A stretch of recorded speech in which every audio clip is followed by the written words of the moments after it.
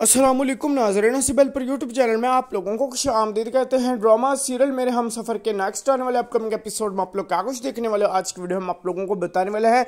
तो इस वीडियो को एंड तक देखते रहिए प्रोडिक्ट करने वाले हैं। चलिए वीडियो को स्टार्ट कर लेते हैं। तो आने वाले एपिसोड में मेरे हम सफ़र के आप लोग यही देखने वाले हो कि नाजरीन, यहाँ पर अब हमजा जो है, नाजरीन, उसके सारे के सारे डाउट आहिस्ता आहिस्ता क्लियर होते जाए। तो यहाँ पर खुरम जो है, वही जाकर सब कुछ बता दे और नाजरीन, यहाँ पर अपना जो है, वो सारा का सारा काम ठीक कर दे। जिसके बाद नाजरीन, खाला के पास वो पहुँच जाएगा हमजा और नाजरीन, उसकी बहुत ही ज़्यादा खिदमत करेगा और नाजरीन यहाँ पर बहुत ही ज़्यादा उसके साथ हँसी खुशी ज़िंदगी गुजार रहा होगा। लेकिन नाजरीन, जब यहाँ पर शारजहाँ को पता चलेगा तो वो भी आ जाएगी धमकियाँ देने, जिसके साथ साथ यहाँ पर आप लोग ये भी देखोगे कि उसकी बहुत ज़्यादा तबीयत ख़राब हो जाएगी और हमजा के साथ दोबारा से बिगाड़ लेगी। लेकिन हमजा उसे बिल्कुल भी नहीं छोड़ने वाला और नाजरीन, इसकी डिलीवरी की जो डेट है, वो भी नज़दीक आती जाएगी, जिसकी वजह से बहुत ज़्यादा सब लोग परेशान हो जाएँगे।